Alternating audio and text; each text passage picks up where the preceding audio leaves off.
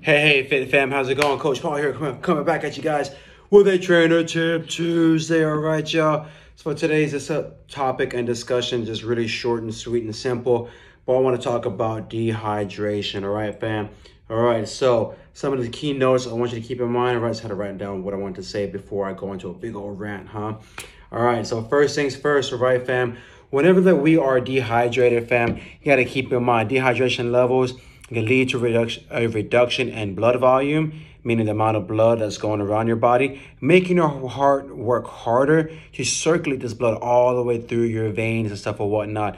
Not only that, but when it does that and increase your heart rate, it can affect your ability to perform any type of cardio weightlifting aspect, right? Specifically, that cardio, right? Now, not only that, but a lack of hydration also results to a quicker onset meaning a quicker result of muscle fatigue, meaning you'll literally tire out quicker than you would if you are actually hydrated, all right? So it's important you'll hit that wall sooner than you would like if you're not hydrated, all right? Another thing when you're dehydrated, right. It does impair decision makings and impairs your concentration. Even mood swings are right and compromising your performance strategy or not just even that it just compromises your way of thinking whenever you're dehydrated. Also another thing on that as well when we're dehydrated most of the times it sends false signals to this brain of ours that we're hungry no, you might be thirsty. So anytime you think about you're hungry and you just got done eating, why don't you take a glass of water first and see if you're still hungry. If all else fails, grab an apple. That's another mind trick right there, right? Another thing, looking back to referring to my notes, keeping in mind, all right, without the adequate amount of fluids, your body, that cooling system can fail, which means what, fam? If you're not properly hydrated, cooling system, our body can overheat, all right, from that dehydration, which can lead to heat exhaustion and even heat stroke. We don't want that, fam, not at all whatsoever. Now, here are the benefits to you being hydrated. When we are very well hydrated, fam, you got to remember that our muscles at this point now they're gonna be a lot more elastic and less prone to injury, all right? The water acts as a lubricant for the joints in your body and it keeps those muscles contracting nice and smooth. So what that means, it translates to a better strength, power, and endurance in your workouts. We use all three here at Fit Body Boot Camp, all right? Also, staying hydrated regulates your body temperature.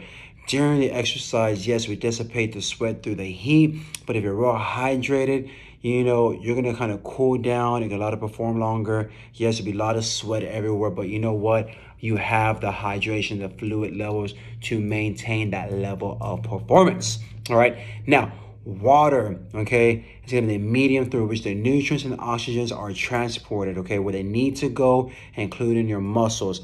This is important and very vital to sustain performance. So again, if we want to continue to push through the bootcamp session there, we need to be hydrated beforehand, not during. All right. It's okay to sip on during, but you really want to make sure you're already pre-hydrated. Now, last but not least, even a mild dehydration, fam, can impair your cognitive levels, including memory, focus, decision making, which are all critical skills in every single thing we do in each and every single day of our lives. Not only that, all right, but just notice that dehydration levels can really hinder our performance, can really affect how we want to perform in boot camp. Not just in boot camp, but out in life. You saw that list, right, or heard the list. Your line of thinking, decision making. If you gotta make decisions on the fly at work really fast, you're not gonna be as efficient. If you gotta make that big head call at your company, wherever it may be, you can't make that call. Not with a clear mind, okay? Make sure we're hydrated, okay? Our bodies are compiled and composed of mainly water cells, fat cells. Water is how we replace it, but nonetheless, we need to be hydrated, fam. Even during this winter time at times, or when it's warmer, you're easier to remember. But even with the colder temperatures, we must remind ourselves we need to stay hydrated. And I'll give you a little tad bit, a little nice good tip on water consumption, fam. It takes up to 20 minutes, all right, to process 16 ounces of water. If you are drinking and chugging more than 16 ounces of water and under 20 minutes, that's why you're wish-washy and that's why you feel bloated with that water. So keep that in mind there, fam. Hope this Trainer Tip Tuesday helps you out to kind of give you that reminder. Let's stay hydrated. Drink that water, fam. All right. Have a good one.